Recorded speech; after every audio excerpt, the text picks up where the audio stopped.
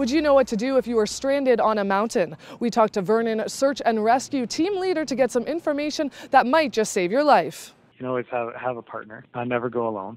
Let someone know where you're going for the day. That's the same for if you're at a resort or if you're backcountry skiing or backcountry snowmobiling.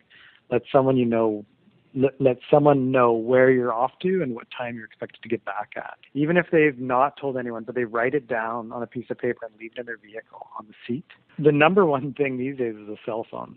Um, and if you're going into an area where the cell phones won't work and you're going to be remote, then having a sat phone or a spot device, some way to contact um, help. Things needed to stay out overnight, um, emergency blankets, uh, small first aid kit, some way to make a fire, uh, best case is a snow cave. So most most people have Avi gear, avalanche gear with them, peeps, probe shovel.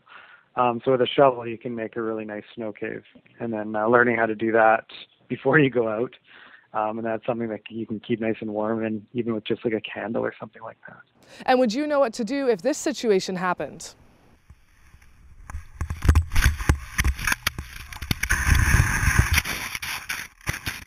The main thing to do is um, stay calm, and then trying to get out of your um, out of your gear as well, and then having somebody not necessarily go for help. That, those sorts of things, you really want to have somebody there to help you. Gradually pull the snow back from the side so you can kind of ramp down to the person, but come in from the side.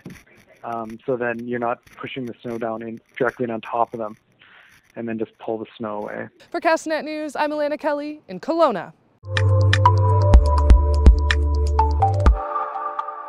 Find your next boat, bike, RV, or snowmobile in our power sports section. You can find it in the classifieds button on the yellow masthead.